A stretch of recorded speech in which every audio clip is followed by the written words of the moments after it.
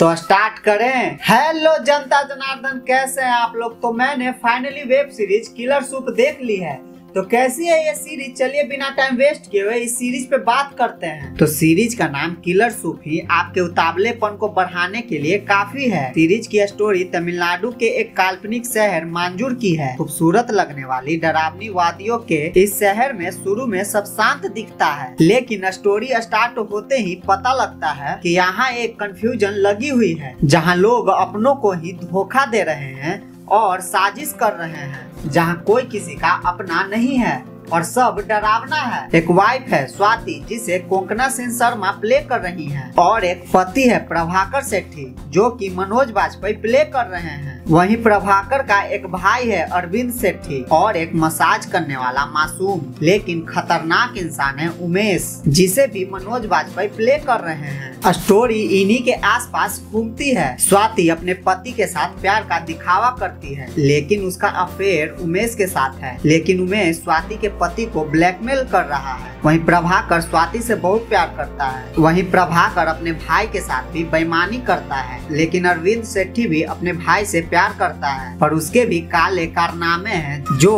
उसका पीछा नहीं छोड़ती है। मतलब ये स्टोरी धोखे से भरी हुई है, लेकिन आपको इंगेज रखती है किलर सूट की भी अपनी एक अलग कहानी है। लेकिन सब कुछ नहीं बताएँगे, क्योंकि आप लोगों का मज़ा भी तो खराब नहीं होना चाहिए। सीरीज़ को अभिषेक चौबे ने डायरेक्ट करी है। वही जिन्होंने इससे पहले इसकिया, डेर इसकिया, उड़ता पंजाब और सोन चिड़ैया जैसी बेहतरीन फ़िल्में बनाई है, उन्होंने स्क्रीन प्ले को बाँध कर रखा है। पहली बार किसी सीरीज़ को डायरेक्ट करने वाले अभिषेक चौबे का ये काम अच्छा है। इस सीरीज़ में एक्टिंग के लिए सिर्फ़ एक वर्ड बोल सकते हैं, शानदार। सिर्फ़ और सिर्फ़ कमाल है और कुछ नहीं। सालों पहले अमिताभ बच्चन ने डबल रोल प्ले किए थे, जो कि आखिरी रास्ता और सत्ते पे सत्ता थी। इन फ़िल्मों की खासियत ये थी कि एक ही एक्टर ने एक ही फ़िल्म में दो अलग अलग कैरेक्टर प्ले किए थे और दोनों कैरेक्टर एक दूसरे से काफ़ी अलग थे। मानो वो अलग इंसान हो। और सेम मनोज बाजपेयी ने यहाँ दिखाया है। प्रभाकर और उमेश दोनों के कैरेक्टर को एकदम अलग तरीके से प्ले किया है मनोज सर ने। उनकी एक्टिंग का एक्सपेंशन देखकर आप चौक कर रह जाएँगे। वहीं कोंकणा सेन शर्मा की बात करें तो मतलब उन्होंने बॉर्डर ही लांगी है एक्टिंग की। एक मैन्युपुलेटिव वुमेन के रोल में वो ऐसी दिखती है कि स्क्रीन पर आपको उनसे नफरत हो जाएगी। यहाँ नफरत वर्ड नेगेटिव में नहीं है।